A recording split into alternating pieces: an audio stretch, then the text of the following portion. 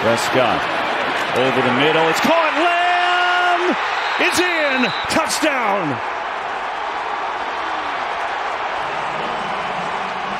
That's worst case scenario for this Washington team to give Dallas. You can see he clearly extends the ball.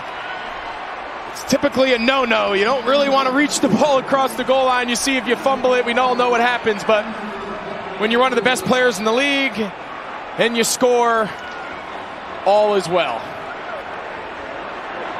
Nine straight games with a touchdown for CeeDee Lamb.